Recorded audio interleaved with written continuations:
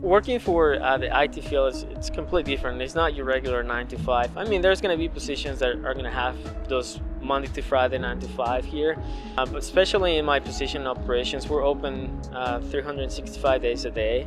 There's no holidays.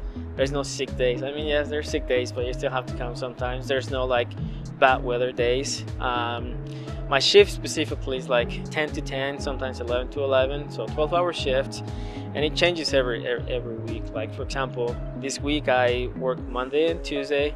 I got Wednesday and Thursday off, and I'm gonna be working Friday, Saturday, Sunday, Monday, and Tuesday, and then I'll get three days off. So it's not gonna be like your your your everyday job where you're gonna have like a specific schedule. No, it changes, and and even on my days off, like if something like there's multiple things going down, my boss is gonna call me and say, "Hey, we, need you to get on your computer and start helping us."